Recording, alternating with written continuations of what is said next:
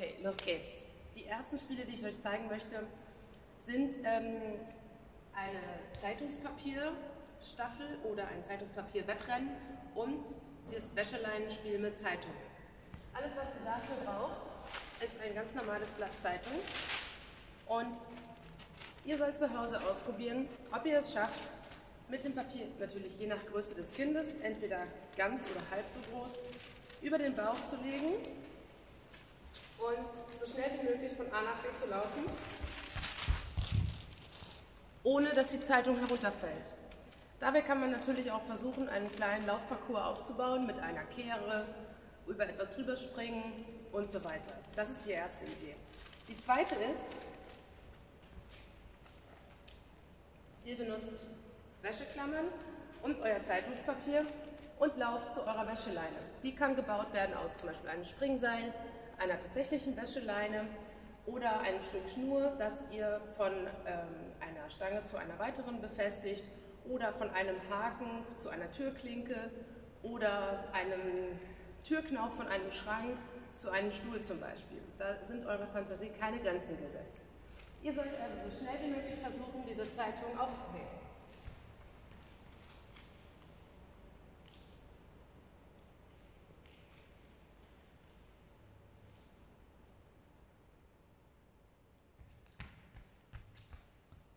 Wer es zum Beispiel am schnellsten schafft, alle Zeitungspapiere einer Zeitung aufzuhängen, hat gewonnen. So können zum Beispiel Kinder gegen Eltern antreten oder Geschwister.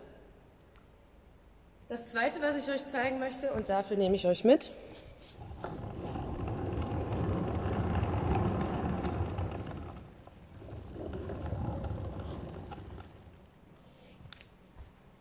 sind verschiedene Balancieraufgaben, die man auch zu Hause sehr leicht nachbauen kann.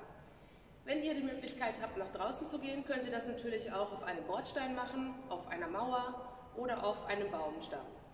Zu Hause kann man sowas zum Beispiel nachbauen, indem man auf dem Boden ein Springseil aneinander legt, mehrere zum Beispiel, oder ein Stück Schnur oder wie hier zum Beispiel ein Band von einem Bademantel. Also es sind ganz viele Möglichkeiten, wie man ganz einfache Dinge nachbauen kann. Als Grundaufgaben bietet sich an, einfach erstmal zu balancieren, ohne den Boden zu berühren.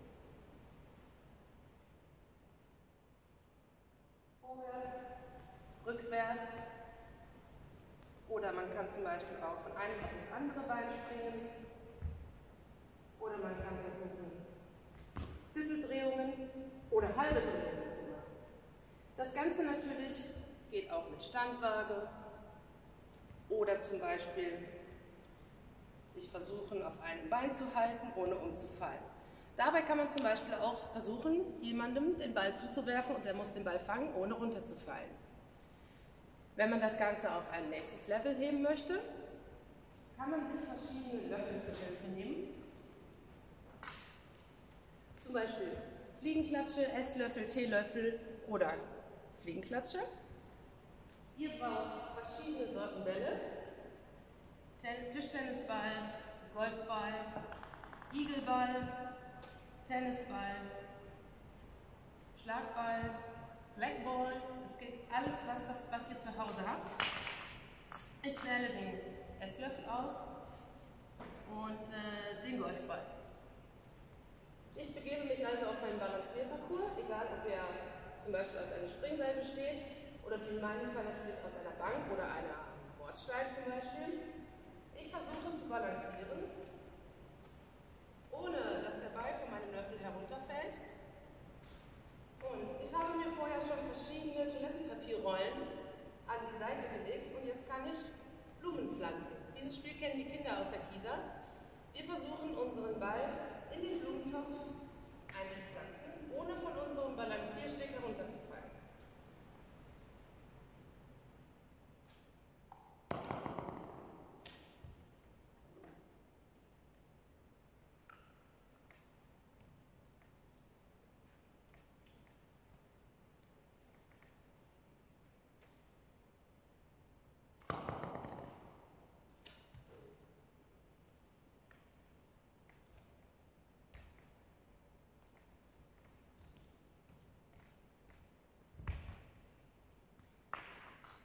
Das zum Thema Balancieren.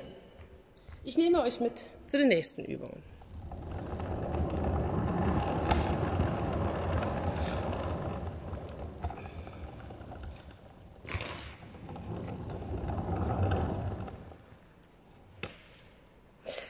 Und zwar seht ihr hier einen kleinen Parcours aus Bällen, Trinkbechern, Kuscheltier und einem Einkaufskorb.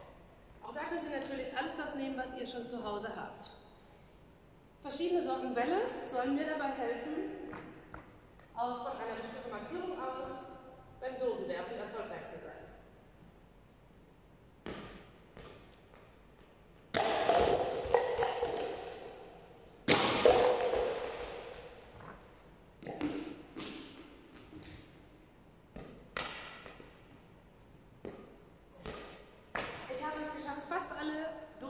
Herunterzuwerfen, also kann ich zur nächsten Station gehen.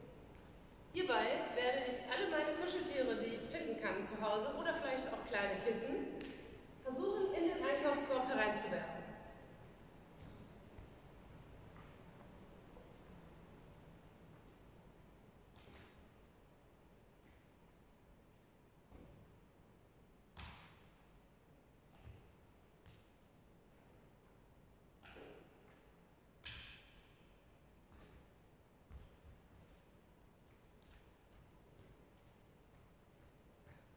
Ich habe zwar Tiere reinwerfen können, aber ich hoffe, ihr habt eine gute Idee bekommen von ähm, Übungen und Aufgaben, die man zu Hause machen kann.